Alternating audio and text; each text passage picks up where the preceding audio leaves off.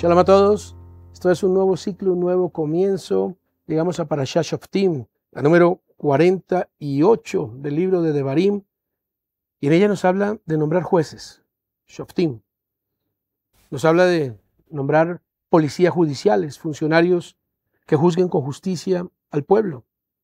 Y va a decir este famoso eh, Pasuk, el 20, seguirá la justicia y solamente la justicia, para que puedas vivir y poseer la tierra que te da Adonai tu Elohim. El vivir y poseer la tierra está ligado al Tzedek, Tzedek, Tirdov. Justicia, justicia, perseguirás. La Haftará sugerida en el libro de Isaías, en el capítulo 51, dirá, no le temas a los hombres.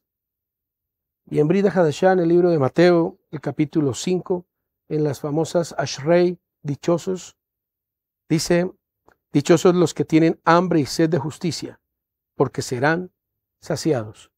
La justicia y la posesión de la tierra.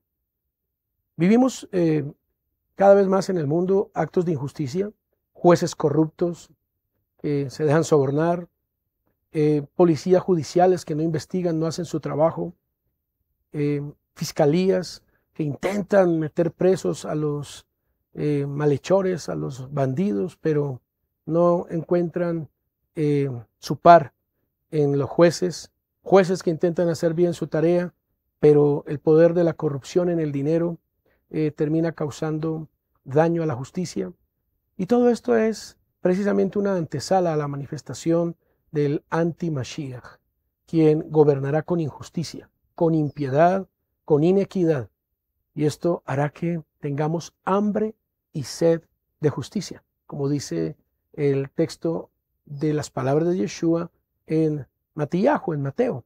Será entonces que el imperio de la injusticia hará que en nosotros surja un hambre y sed de justicia para que así entonces podamos recibir al Mashiach.